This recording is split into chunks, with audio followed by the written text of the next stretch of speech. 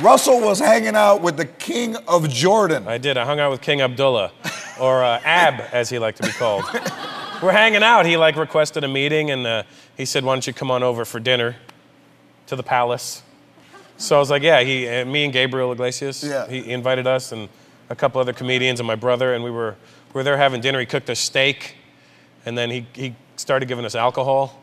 Nice. And uh, Russell and alcohol not so good. It's, I mean, I'm I'm the same guy, but I have less of a filter. And I started telling him things like he had really nice eyes. and Gabe was like, "What are you hitting on him, fool?" I go, "No, no, I'm just saying he's got really blue eyes." I, so uh, he asked me what time my flight was in the morning. I said it's 10:30. Leaving the hotel at 7:30 in the morning, and he goes, "Oh, that's too early."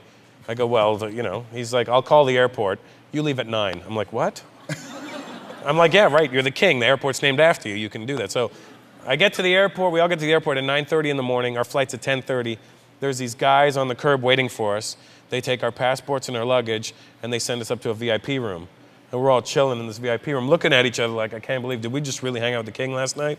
And then it's like 10 to 10 now, and an angry Arab looking, uh, an angry Arab dude walks in the room, looks angry as hell, holding a passport. He's like, Russell Peters. And I'm like, that's me.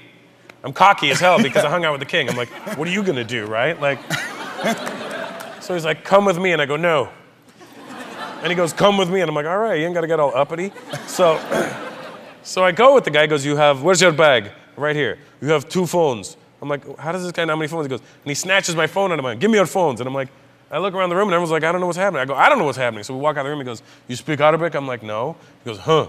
And he leads me down these stairs, and in my head, my little uh, thug life in my head was thinking, trip him down the stairs, choke him out, and then run back up, right? But I didn't do that. So we get to the bottom of the stairs. There's two military guys standing with Uzis, pointed right at me. And my ego kicks in and goes, The king came to say bye.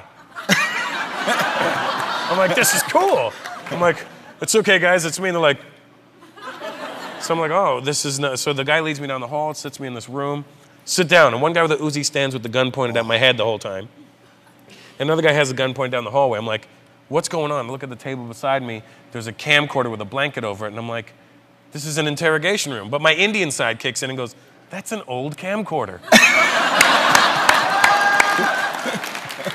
we really need to get some new product in here. So that's what I was thinking, right? So he starts interrogating me. He's like, Where were you last night? I'm like, I, I, I did a show. And then where did you go? I was like, I, Then I went to the palace. What palace?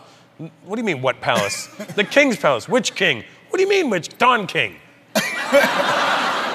What do you mean? The, the king, the guy behind you is a picture of the king. He goes, My king. I go, Yeah, your king. Why you went? Because he invited me. Huh. Then he lights up a cigarette, and every time he's not looking, I keep looking into the camcorder making faces. I'm like,